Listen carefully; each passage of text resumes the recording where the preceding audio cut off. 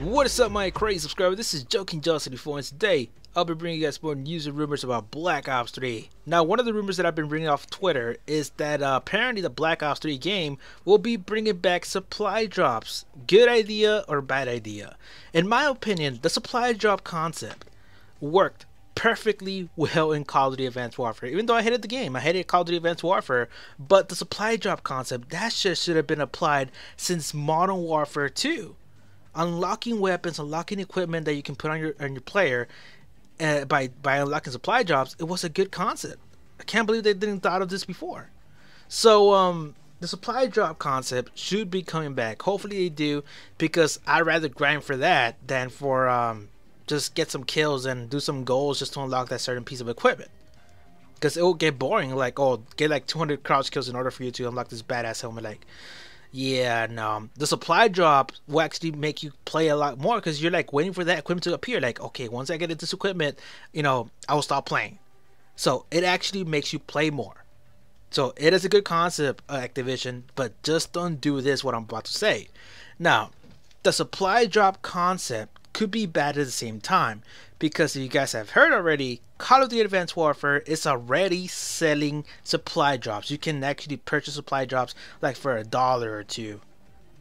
So the problem that I see with this is that what happens if all the rare equipment and weapons are only in the purchasable supply drops?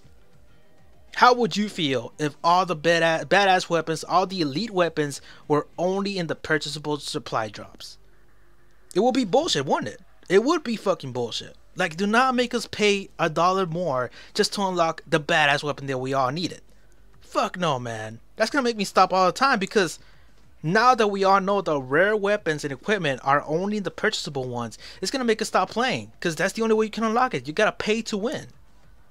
So, let's all pray, let's all hope they don't do that kind of concept because that's what's gonna bring the morale down for everybody to play in the fucking game. Like, it's, there's no point. There's no point no more because you can only buy them. So, um, anyways, my point is, the supply drops should make a comeback. It was a good idea by uh, Infinity Ward or, or Sledgehammer Games. I don't know who made Call of Duty Advanced Warfare, but it was a great idea. And, um, you know, it makes you play a lot more.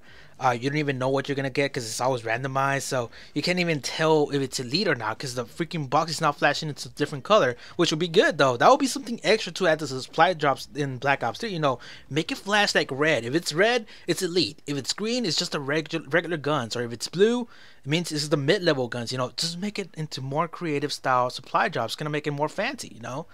Decorate the cake. Do not give us a plain old cake, man. Do not give me just a fucking bread, you know, that's a fucking cake. No. You gotta fucking decorate it. You know, put some fucking, you know, dressing on it. Pink dressing, white dressing, you know, just make it for the birthday party. Do not bring me a plain ass cake and expect me to eat it. Fuck no. You decorate that cake. So, supply drops, make a comeback, but just don't do the concert that, I just said. Do not make our rare weapons, equipment, into only purchasable supply drops.